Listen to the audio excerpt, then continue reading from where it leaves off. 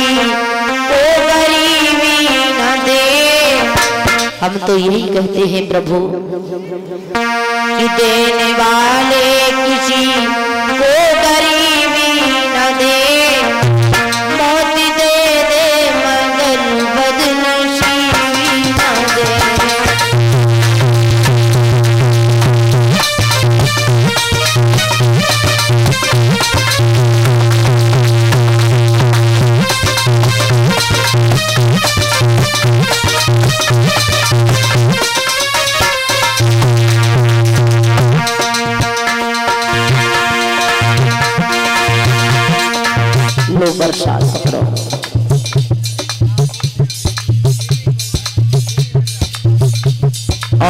श्रीमान बीपी भैया की जो धर्म पत्नी है, इसी गाँव के रहने वाली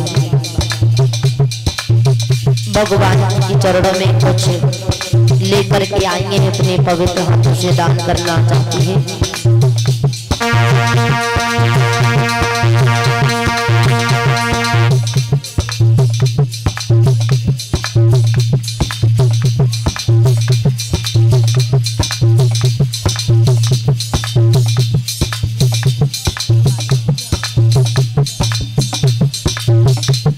भाभी जी हमारे गले में नोटों का हाथ पहना की चलते समय विदाई के रूप में बहुत बहुत सम्मान करती प्रभु सुख शांति प्रदान करे। धर्म हाथ बढ़ते रहे, मांग में भरा हुआ सिंदूर हमेशा हमेशा के लिए अमर रहे।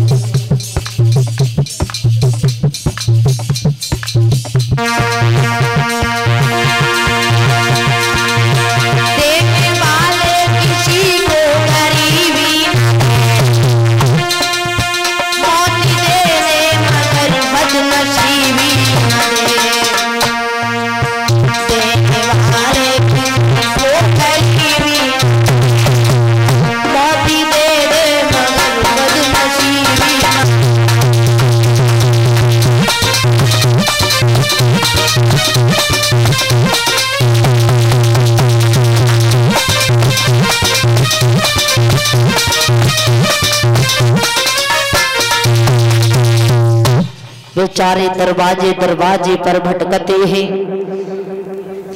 लिखा है, विद्वानों ने।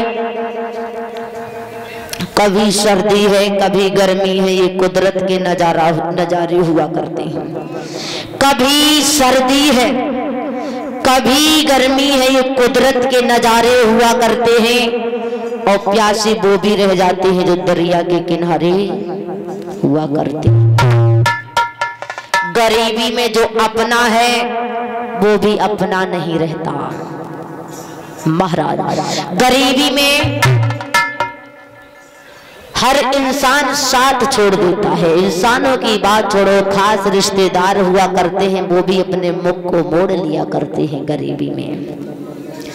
गरीबी में, अमीरी में जो इंसान मुझे जानता था, गरीबी भी वो भी नहीं जानता है। भूल गया। हम अपनी बता रहे हम आपको अपनी बताएँ। पहले मुझे कोई नहीं जानता था। पहले मुझे कोई नहीं जानता था। अब जिस गाँव में पहुँच जाए, कहाँ की रहने वाली हो? बिटिया नवादा की। पिताजी का क्या नाम है? श्री परशुराम सिंह। अरे हम उन्हें अच्छी तरह से जानते हैं, हमारे घर के हैं। बहुत अच्छी तरह से जानते हैं। है? तो हम कहते भैया हाँ जानते होंगे आप। बहुत अच्छी बात है। हम आपको बता रहे हैं। हम बहुत दूर दूर तक कथा कहने जाते हैं। आसपास पहली बात तो मेरा ये उद्देश्य